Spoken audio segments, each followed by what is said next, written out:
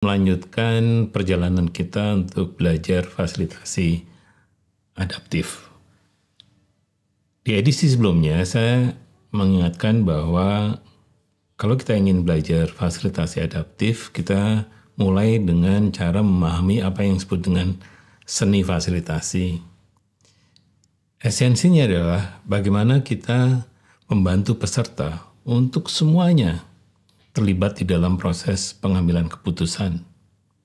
Dengan cara ini, mau tidak mau kita harus selalu membaca siapa pesertanya, berapa lama pertemuannya, kemudian berapa luas ruangannya dan dan sebagainya. Sehingga kita bisa merancang apakah kita akan memberikan sentuhan yang berbeda pada prosesnya atau pada cara duduknya atau pada cara menggunakan alat bantunya. Jadi di sini fasilitasi menjadi sebuah seni untuk para fasilitator menciptakan proses-proses yang kreatif dan spesial untuk setiap pertemuan.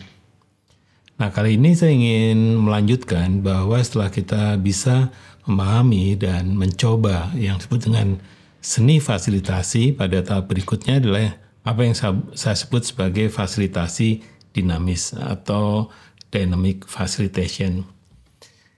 Fasilitasi dinamis sebenarnya menarik perhatian pada awal tahun 2000-an karena memang ingin apa semacam mengkritik pertemuan-pertemuan yang ujung-ujungnya sebenarnya semuanya untuk mengontrol hasil.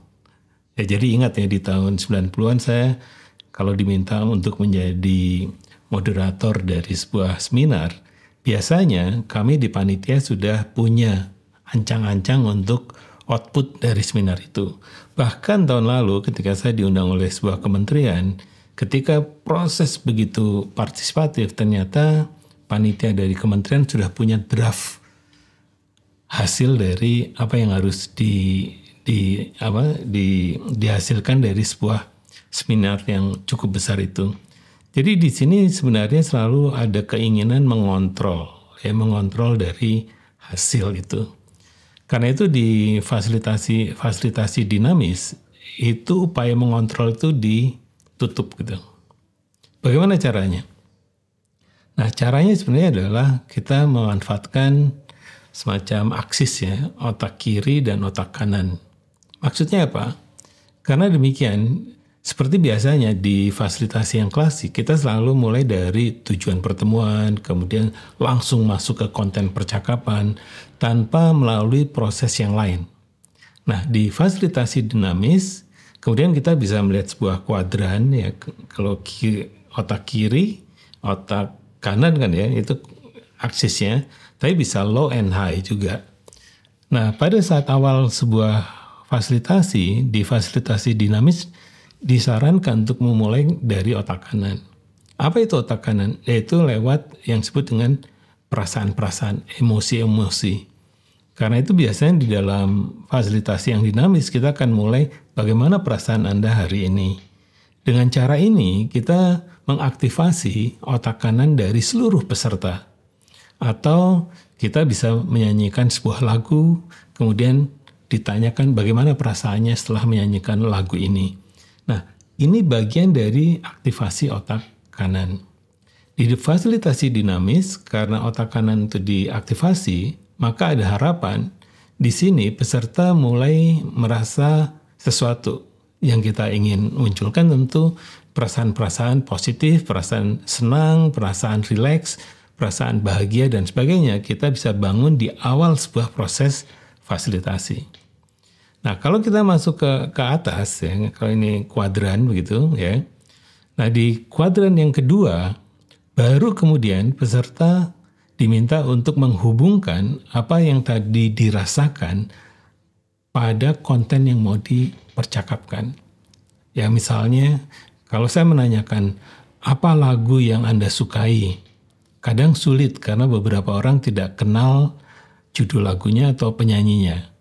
Tapi ingat referennya misalnya. Maka saya sederhanakan apa kata-kata di lagu yang Anda paling sukai. Kadang ada lagu Imagine, kadang ada lagu-lagu apa What's Wonderful World gitu, lagu-lagu yang sangat populer, tidak ada masalah. Tapi yang esensinya adalah bagaimana peserta diminta menghubungkan kata-kata yang ada yang ada di lagu itu dengan konten yang sedang kita percakapkan. Misalnya, kalau kita akan mempercakapkan tentang hutan gambut misalnya, maka kita meminta peserta untuk menghubungkan apa hubungan antara kata-kata di lagu itu dengan hutan gambut. Di sini di awalnya sering kali ada resistensi apa iya bisa gitu. Tapi dari pengalaman saya menyatakan bahwa sebenarnya itu sangat mudah bagi peserta Akhirnya peserta bisa menemukan hubungan antara kata yang ada di lagu yang sebagai sebuah emosi, kemudian dengan konten yang sedang dipercakapkan dengan hutan gambut misalnya. Nah, dari relasi ini kemudian baru diarahkan kepada tujuan pertemuan yang memang dikendaki. Jadi di sini ketika relasi itu terjadi antara otak kiri dan otak kanan, Orang menyebutkannya adalah ada yang disebut dengan full of energy. Jadi saya bahagia ketika saya menyatakan hutan gambut itu. Dan kemudian kita bisa mengeksplorasi bagaimana caranya menyelamatkan hutan gambut. Bagaimana caranya menjaga hutan gambut. Itu kemudian relasi apa? Diskusinya menjadi sangat sangat menyenangkan karena pesertanya sendiri sudah happy. Nah, ketika full of energy ini sudah terjadi, maka juga masuk di tahapan di kuadran yang ketiga ketika full of energy itu muncul. Di sinilah sebenarnya kita bisa mulai mendorong peserta melakukan proses imajinasi dengan mempertanyakan misalnya what if? Bagaimana kalau ya hutan gambut itu terbakar tahun depan? Apa yang kita bisa lakukan? Itu imajinasi. Atau What bagaimana kalau kita bisa menemukan teknologi untuk memastikan kebakaran di hutan gambut itu tidak terjadi? Maka sebenarnya di bagian terakhir, ketika full of energy ini mulai muncul, itu akan muncul apa yang disebut dengan antusiasme. Nah, antusiasme adalah pada saat otak kanan dan otak kiri itu simultan bekerja. Tapi di bagian akhir sebenarnya dari perasaan kemudian muncul ke tahapan yang namanya intuitif, kreativitas, ya atau imajinasi.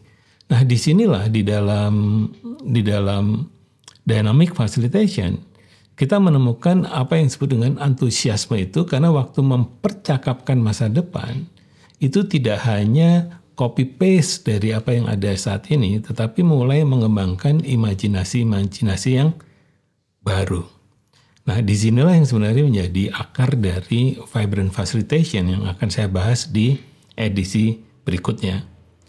Nah, kalau kita menggunakan fasilitasi yang dynamic ini, maka kita mulai belajar bahwa sebenarnya kita tidak ingin mengontrol hasilnya, tetapi memberikan kebebasan kepada peserta untuk bisa menemukan hal-hal yang baru. Karena itu, fasilitasi dinamis sangat cocok untuk proses-proses inovatif inovasi. Nah, proses-proses inovasi ini berangkat dari tadi bagaimana kita memberikan penguatan atau mengaktifasi otak kanan ter, terlebih dahulu, kemudian diarahkan pada konten itu otak kiri, kemudian kembali kepada imaja, imajinasi otak kanan lagi, dan akhirnya proses pengambilan keputusan yang itu kembali ke otak kiri. Apa sebenarnya tujuannya? Dari refleksi saya, ketika otak kiri dan otak kanan peserta itu aktif, maka kualitas dari pengambilan keputusannya akan sangat baik. Mengapa?